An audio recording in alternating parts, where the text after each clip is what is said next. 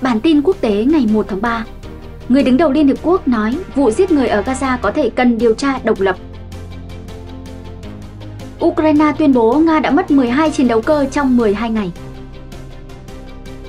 Kênh Bloomberg đưa tin Anh gây áp lực buộc Đức chuyển tên lửa Taurus cho Ukraine.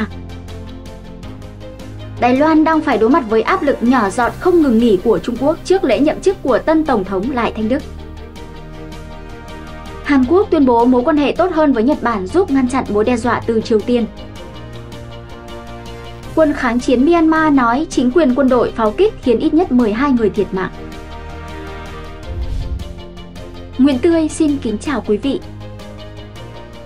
Kính mời quý vị cùng theo dõi bản tin quốc tế tối ngày 1 tháng 3 của DKN.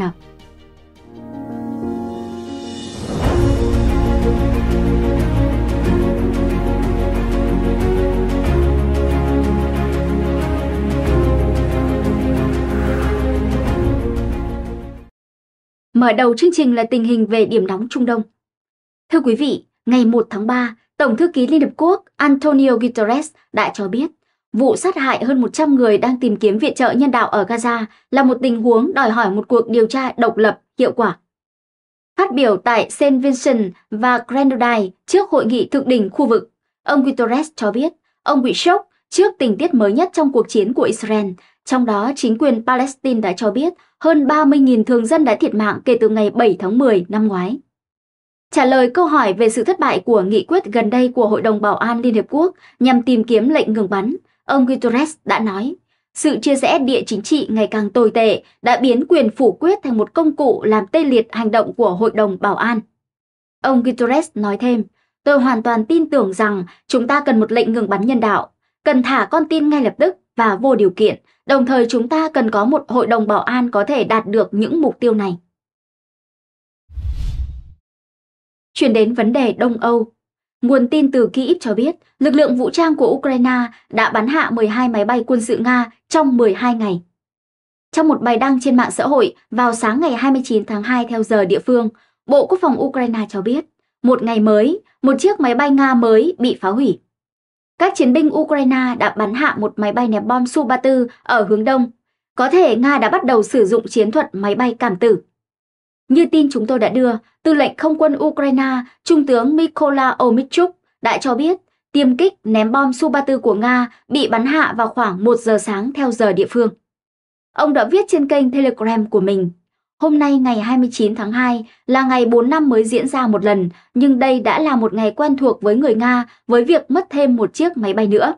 Đã loại bỏ Su-34 ở hướng đông.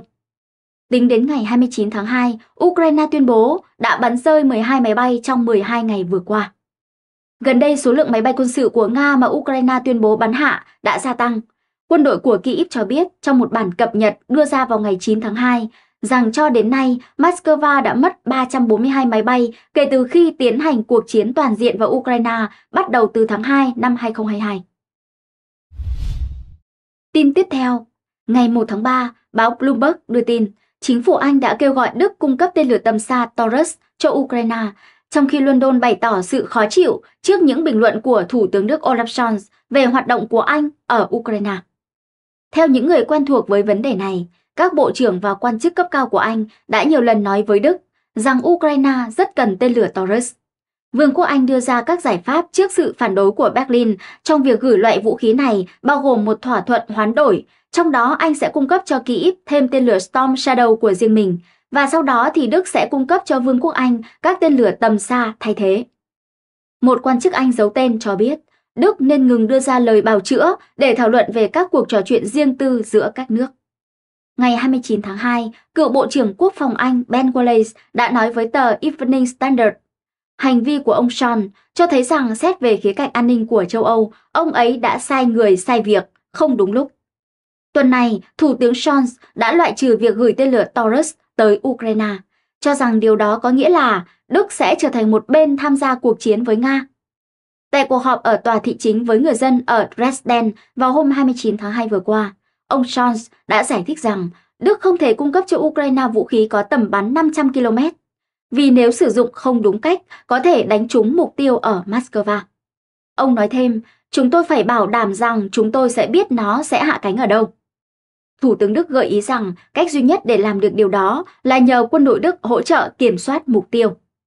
Phát biểu trên làm dấy lên cuộc tranh luận vì Thủ tướng Đức Olaf Scholz đã đề cập đến việc quân đội Anh và Pháp hỗ trợ người Ukraine vận hành các hệ thống vũ khí tầm xa tấn công mục tiêu của Nga. Vào đầu tuần này, Thủ tướng Olaf Scholz đã cho biết những gì mà người Anh và người Pháp đang làm về mặt kiểm soát mục tiêu không thể thực hiện được ở Đức.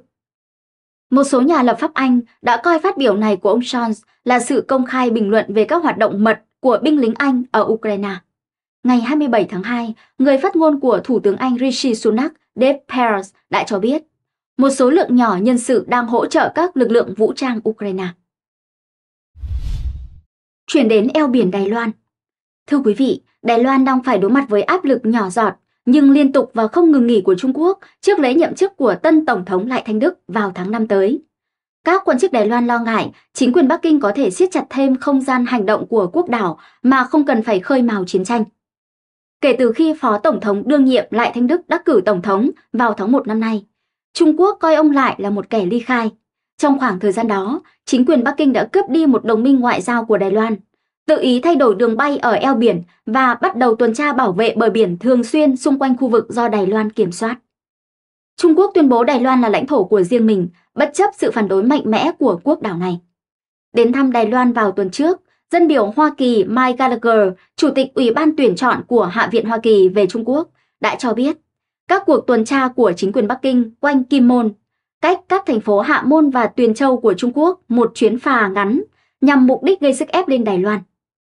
Lấy hình ảnh của một điện trở dùng để điều khiển dòng điện để minh họa, ông Gallagher đã nói rằng đó là một nỗ lực cắt xúc xích. Trung Quốc đang dần dần tăng biến trở lên. Một quan chức nước ngoài theo dõi các vấn đề an ninh trong khu vực đã mô tả những gì đang xảy ra như là một áp lực nhỏ giọt không ngừng nghỉ, với thông điệp rằng chính quyền Bắc Kinh không ưa ông Lại Thanh Đức, nhưng không tổ chức tập trận hay đối đầu quân sự trực tiếp. Nguồn tin giấu tên này cho biết, đó là một phần của mô hình dần thay đổi hiện trạng ở eo biển Đài Loan và chuyển sang trạng thái bình thường mới, hạn chế không gian di chuyển của Đài Loan. Trung Quốc cho biết, lực lượng tuần tra bờ biển là để bảo đảm an toàn cho ngư dân nước này. Hai ngư dân của Trung Quốc đã thiệt mạng vào tháng trước khi cố gắng chạy trốn lực lượng bảo vệ bờ biển Đài Loan sau khi tiếp cận quá gần một trong những đảo nhỏ do Đài Loan kiểm soát. Trước đó vào ngày 28 tháng 2, khi được hỏi liệu căng thẳng Kim Môn có phải là một phần trong áp lực của Đảng Cộng sản Trung Quốc đối với ông Lại trước lễ nhậm chức Tổng thống của ông hay không? Bà Chu Phượng Liên, người phát ngôn của Văn phòng các vấn đề Đài Loan của Trung Quốc, đã không trả lời. Nhưng bà này nhắc lại quyền của Trung Quốc đối với các cuộc tuần tra của lực lượng bảo vệ bờ biển. Bà Chu Phượng Liên nói, cả hai bên eo biển Đài Loan đều là một phần của một Trung Quốc và Đài Loan là một phần của Trung Quốc. Trung Quốc nói rằng chỉ mình họ có chủ quyền đối với eo biển Đài Loan và họ cũng công nhận không có vùng biển ngoài giới hạn nào đối với ngư dân của họ xung quanh Kim Môn. Đài Loan đã bác bỏ mạnh mẽ yêu sách lãnh thổ phi lý của Trung Quốc. Chuyển đến khu vực Đông Bắc Á, ngày 1 tháng 3, Tổng thống Hàn Quốc Yoon suk yeol cho biết mối quan hệ được cải thiện với Nhật Bản đang giúp chống lại các mối đe dọa từ hoạt động phát triển vũ khí của Bình Nhưỡng.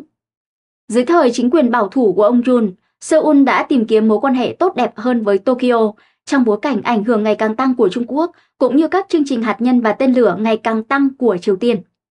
Trong sự kiện đánh dấu ngày lễ độc lập, ông Yoon suk yeol cho biết, năm tới sẽ là dịp kỷ niệm 60 năm bình thường hóa quan hệ ngoại giao với Nhật Bản. Tổng thống Hàn Quốc hy vọng đây có thể là cơ hội để mối quan hệ song phương đạt đến mức độ cao hơn. Ông Jun nói trong bài phát biểu kỷ niệm ngày hình thành phong trào độc lập chống lại sự chiếm đóng của Nhật Bản tại Hàn Quốc giai đoạn 1910-1945. Giờ đây, Hàn Quốc và Nhật Bản đang cùng nhau vượt qua quá khứ đau thương và hướng tới một thế giới mới. Sự hợp tác an ninh giữa hai nước chống lại các mối đe dọa hạt nhân và tên lửa của Triều Tiên đã được tăng cường hơn nữa. Trong bài phát biểu của mình, ông Jun nói rằng Seoul sẽ cần sự giúp đỡ quốc tế cho triển vọng thống nhất với Triều Tiên. Ông nói, thống nhất là một nhiệm vụ đầy thách thức mà chúng tôi không thể hoàn thành một mình. Cộng đồng quốc tế phải tập hợp sức mạnh của mình một cách có trách nhiệm. Bình luận của ông Jun được đưa ra sau khi lãnh đạo Triều Tiên Kim Jong-un hồi tháng 1 gọi Hàn Quốc là kẻ thù chính và nói rằng việc thống nhất là không thể. Căng thẳng cũng gia tăng trên bán đảo Triều Tiên sau khi quân đội Hàn Quốc và Mỹ tăng cường các cuộc tập trận quân sự, đôi khi có sự tham gia của cả Nhật Bản nhằm đáp trả việc Triều Tiên thử vũ khí.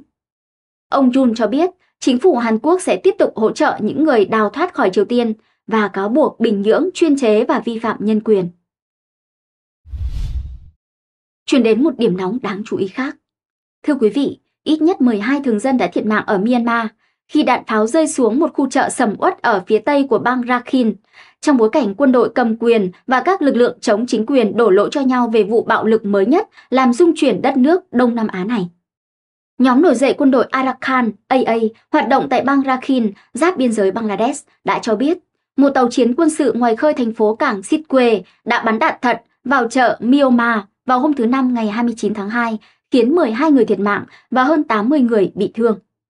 Chính quyền Myanmar tuyên bố trên kênh truyền hình nhà nước Mai Awadi rằng đạn pháo đã được bắn bởi AA, nhưng đã không xác nhận số lượng thương vong. Sitwe và các thị trấn khác ở Rakhine đang phải đối mặt với tình trạng mất thông tin khi chính quyền quân sự tái áp đặt các biện pháp hạn chế dữ liệu di động và Internet trong bang. Myanmar đã rơi vào vòng xoáy bạo lực kể từ khi quân đội nắm quyền từ chính phủ dân cử trong một cuộc đảo chính vào năm 2021. Kể từ tháng 10 năm 2023, chính quyền quân sự đã phải đối mặt với thách thức lớn nhất đối với việc nắm giữ quyền lực sau khi các nhóm nổi dậy có vũ trang tiến hành các cuộc tấn công phối hợp nhằm vào các tiền đồn quân sự ở một số bang trên khắp đất nước. Ở Rakhine, xung đột giữa nhóm nổi dậy quân đội Arakan và chính quyền ngày càng gia tăng, với giao tranh tập trung gần thủ phủ bang Sitwe, một cảng và trung tâm thương mại quan trọng trên vịnh Bengal. Một phát ngôn viên của nhóm vũ trang sắc tộc cho biết, nhóm nổi dậy quân đội Arakan đã đẩy lùi quân đội của chính quyền ra khỏi ít nhất 5 thị trấn, trong đó có Palekwa, một điểm giao thương quan trọng, và Ponnakiun, chỉ cách Sitwe 34 km. Thưa quý vị, bản tin quốc tế của DKN xin được kết thúc tại đây. Cảm ơn quý vị đã quan tâm theo dõi. Kính chúc quý vị luôn bình an và mạnh khỏe. Xin thân ái, chào tạm biệt.